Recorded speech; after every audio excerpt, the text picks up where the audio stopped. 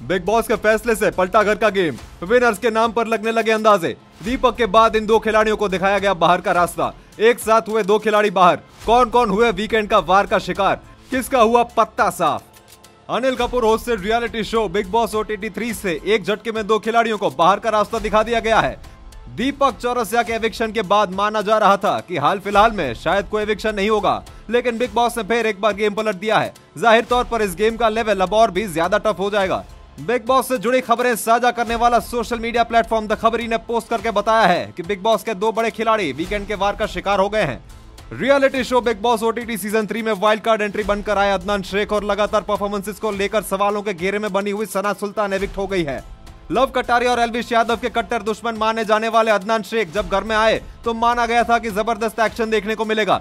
हालाँकि लव कटारिया से कुछ गिने चुने जबानी झगड़ों के बाद दोनों की दोस्ती हो गई और ज़्यादातर वक्त दोनों साथ में वक्त बिताते नज़र आने लगे। अदनान शेख ने बातें भी की तो वो ज़्यादातर बाहर की बातें होती थी, जिनके लिए अदनान को बिग बॉस से डांट भी पड़ी। जहाँ एक तरफ़ अदनान शेख एंट्री के बाद से लेकर अभी तक दर्शकों को कुछ खास कंटेंट दे नहीं पाए, वहीं दूसरी तरफ़ सना सुल्तान भी घर के भीतर फुसकी बॉम्ब भी नज़र आई।